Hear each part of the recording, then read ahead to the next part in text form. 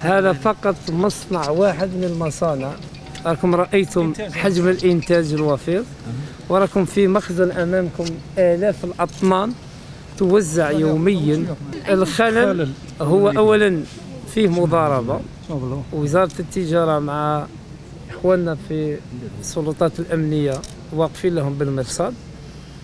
وقلتها ونعيد نكررها. أي تاجر أي مضارب سيتم ضبطه سيقدم سيكون أول واحد يتقدم على أساس مضارب إلى العدالة.